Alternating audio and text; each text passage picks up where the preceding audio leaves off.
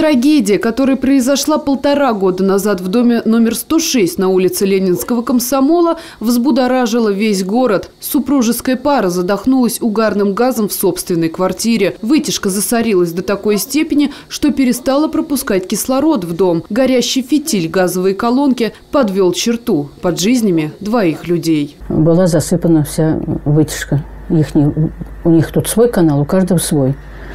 Вот внизу, второй этаж, у них свой канал, вытяжка, у нас свой был канал. Ну, этот канал, там его, наверное, годами никто не прочищал.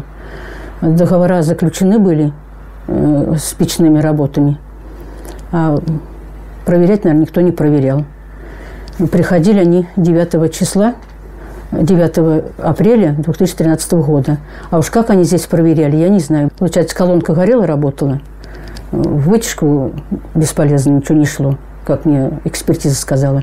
Сразу пошло вот вверх, из колонки, там вот вверху решеточки. Он стал выходить угарный газ в квартиру пошел.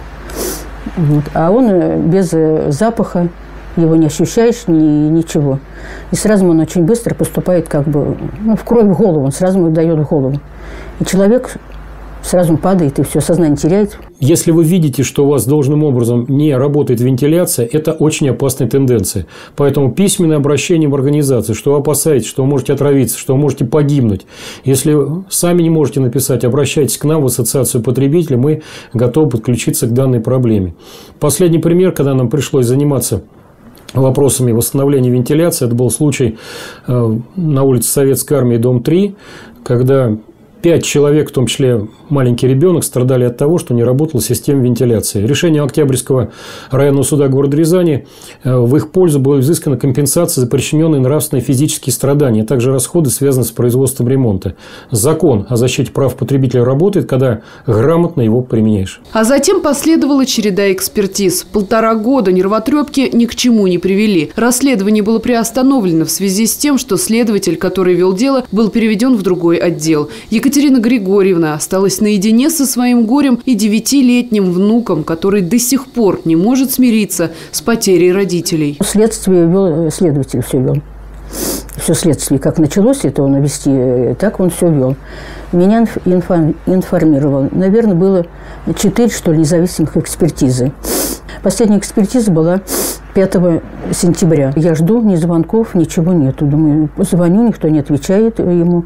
Я поехал в прокуратуру. Приехал в прокуратуру, мне отвечают, а он уволился. Уже уж его, наверное, два месяца нет, что ли, или месяц. Я говорю, а как, а как же дело? Я говорю, мне на руках ничего нету. С чего же мне начинать-то? Она, ну, меня там пропустили к другому следователю, пройдите. Ну, я ему объяснила. Он говорит, ну, хорошо, мы будем заниматься этим делом. Документ у меня есть. Он э, приостановил, написал в документе, приостановил, приостановлена как там работа. 5 сентября выдал мне документ, объяснил, что мне делать, куда дальше мне идти. А в результате он мне ничего не выдал, пока я сама не написала заявление. Я как получила, вот, ну, здесь были праздники. После праздников я теперь решила взяться за дела. Халатность обслуживающей железнодорожный район управляющей компании привела к смерти двух человек. Монтажная компания, которая должна проводить в доме трубопечные работы, приехала в день похорон. Прочистили вытяжки. Две жизни нужно было потерять, чтобы обслуживающие органы выполнили свои обязательства.